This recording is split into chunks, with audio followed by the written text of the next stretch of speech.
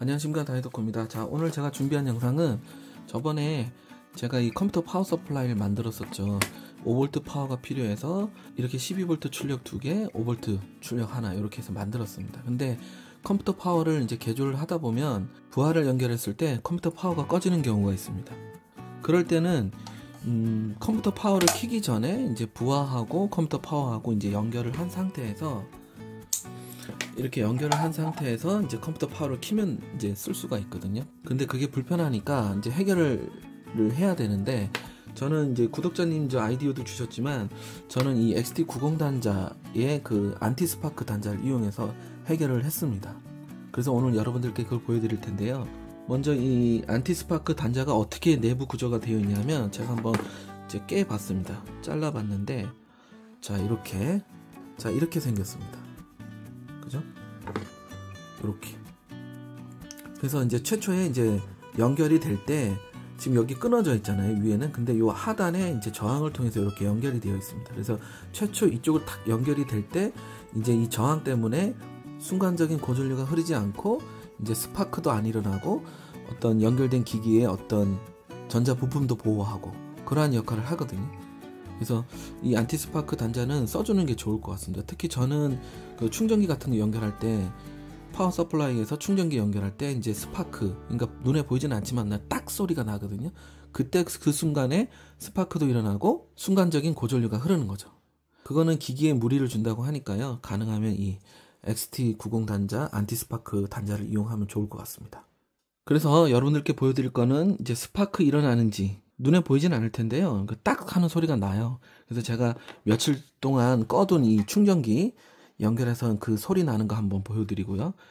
그 다음에 이 컴퓨터 파워, 안 꺼지는 컴퓨터 파워, 이제 부하, 이 BC168을 연결했을 때 꺼지지 않는 거 이 파워 보여드리고, 그리고 제가 준비한 이 두 개의 파워는 부하를 연결하면 꺼져버립니다. 그래서 안티스파크 단자를 이용했을 때 안 꺼지는 거 한번 보여드리도록 하겠습니다.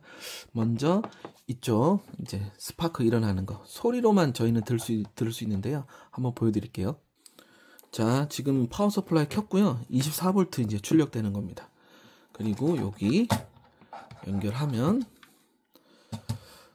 자, 날지 안 날지 모르겠어요. 한번 해볼게요. 자, 들으셨죠? 딱 하는 소리. 자, 이게 어, 기기에도 이제 무리를 주고 장기적으로 봤을 때는 그리고 또 이쪽 단자에도 그런 스파크 때문에 이제 마모나 또 단자에 대한 저항 그런 것들이 영향을 줘서 기기에는 좀 좋은 성능을 내지 못하겠죠. 그래서 안티스파크 단자를 다는 게 좋을 것 같습니다. 앞으로는 저는 저런 충전기 연결을 안티스파크를 이용해서 연결을 할 겁니다. 자, 그러면 이제 이 파워 켜서 이제 안 꺼지는 건 보여드리고 요 두 가지 또 부하를 연결했을 때 꺼지지만 안티스파크 단자를 이용하면 안 꺼진다는 걸 한번 보여드릴게요. 자, 이쪽 파워 이제 스위치 on이 되어 있네. 예, 스위치 on 되어 있고 그다음 파워 키겠습니다. 자, 돌아가고요. 12V 출력선을 이용해서 이 BC168 연결하도록 하겠습니다. 자, 안 꺼지잖아요. 그 다음에 또 몇 번을 연결해도 안 꺼집니다. 이 파워는. 그래서 안 꺼진다는 거 보여드리고 그 다음에 요거 꺼지는 거 한번 보여드릴게요. 자 지금 보면 스위치 켜서 여기 녹색 불이 들어왔죠? 자 그 다음에 요거 단자가 여기 서로 안 맞아서 요걸 이용하겠습니다. 자 이거를 연결하면 꺼질 겁니다. 자 연결해 볼게요. 자 순간 불이 들어왔다가 꺼지죠. 그 다음에 이쪽 파워도 여기 꺼져 버렸어요. 이렇게. 그러니까 컴퓨터 파워다 보니까 순간적인 그 전류, 고전류에 의해서 얘가 이제 꺼지는 것 같아요. 안 꺼지는 파워도 있지만. 그 다음에 요거 해보겠습니다. 요거. 그리고 요 파워는 잠시 전원을 꺼뒀다가 키면은 한 5분 있다가 다시 이제 작동을 합니다. 그 다음에 요거 보여드릴게요.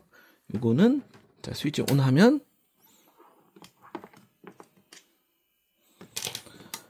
자 보시면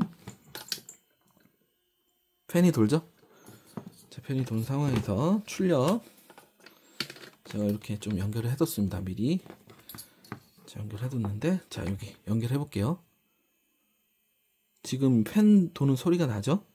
자 연결 자, 순간적으로 또 불이 들어왔다가 꺼져 버렸습니다. 지금 이것도 여기도 팬이 이제 안 돌죠. 자, 이렇게 이렇게 꺼지는 거를 안티스파크 단자를 이용해서 해결을 할 수가 있습니다. 자, 그러면 요거 안티스파크 단자 이용해서 이제 안 꺼지는 거 보여드리도록 하겠습니다. 자, 여기 보면 또 출력이 되죠? 불이 들어왔죠? 그 다음에 아까 그거 단자 여기 여기를 안티스파크를 달아야 되니까 여기 자 이렇게 연결해 봤습니다 자 이거 가지고 이제 연결을 해 볼게요. 여기는 또 잭이 안 맞잖아요?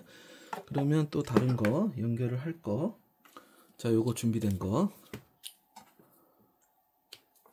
자 이렇게. 반대쪽도 XT90 단자로 해야 되니까요. 자 이걸 연결하면 자 요거거든요. 자 연결하면 자 안 꺼집니다. 그죠? 여기 파워 계속 출력이 되니까 이게 안 꺼지겠죠? 몇 번을 해도 자, 자, 안 꺼집니다. 자. 그죠? 이렇게 안티스파크 단자를 이용하면 꺼지는 문제를 해결할 수 있습니다. 그리고 기기 보호에도 좋고요. 전자기기 연결된 거 이제 그 대전류 순간적으로 흐르는 거를 나쁜 영향을 주니까 그 부분도 해결할 수 있고 요 안티스파크 XT90 단자를 이용하면 좋을 것 같습니다. 그리고 이것도 한번 보여드릴게요. 자, 또 켜졌습니다. 팬이 돌죠? 돌고 그 다음에 출력 쪽 연결한 거 요거 자, 자 이렇게 또 해보겠습니다. 자, 안 꺼지죠? 그죠? 또 안 꺼집니다. 자, 이렇게 요걸 이용하면 아주 좋을 것 같아요. 기기 보호에도 되고, 그 다음 컴퓨터 파워 꺼지는 문제도, 부하 연결했을 때 꺼지는 문제도 요거 단자를 이용해서 활용을 할 수 있을 것 같습니다. 자, 여러분, 간단하게 여러분들한테 한번 알려드리고 싶어서 영상을 만들어 봤습니다. 다음에 또 다른 영상으로 찾아뵙겠습니다. 감사합니다.